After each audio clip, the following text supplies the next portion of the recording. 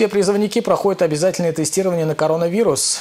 Сначала наличие вируса определяют по месту проживания, потом призывников везут на республиканский сборный пункт, где их ждет очередная проверка на COVID-19. Результат этого теста станет известен в течение 15 минут. И только получив отрицательный результат, молодые люди попадают в так называемую чистую зону. В случае обнаружения инфекции призывников немедленно изолируют в отдельное помещение и отправляют в обсерваторию для лечения. По состоянию на сегодня на сборном пункте таких случаев не выявлено.